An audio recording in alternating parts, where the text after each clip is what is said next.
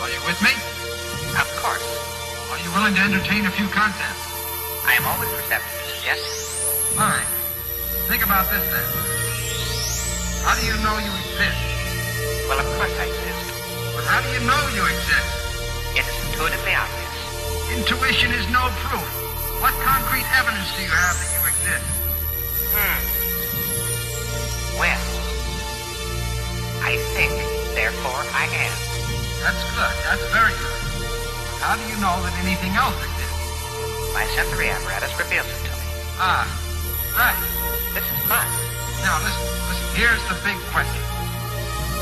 How do you know that the evidence your sensory apparatus reveals to you is correct?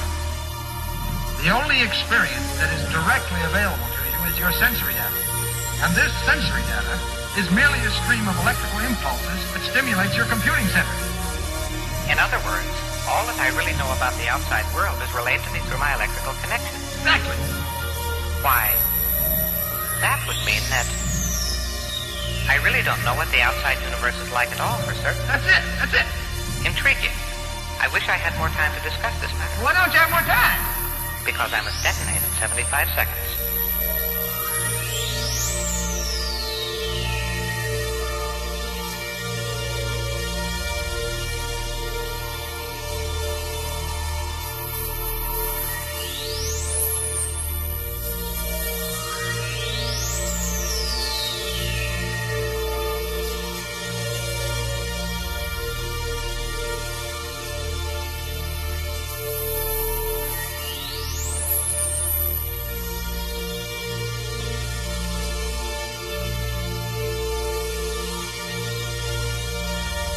Now, Bomb, consider this next question very carefully.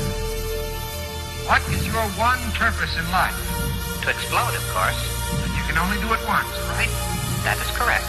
You wouldn't want to explode on the basis of false data, would you? Of course not. Well then, you've already admitted that you have no real proof of the existence of the outside universe. Yes, well, So you have no absolute proof that Sergeant Pinback ordered you to detonate.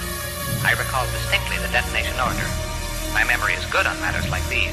Of course you remember it, but, but all you're remembering is merely a series of sensory impulses which you now realize have no real definite connection with, with outside reality. True.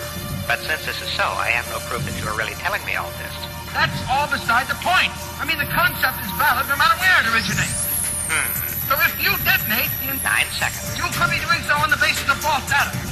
I have no proof it was false data. You have no proof it was correct data. Must think on this further.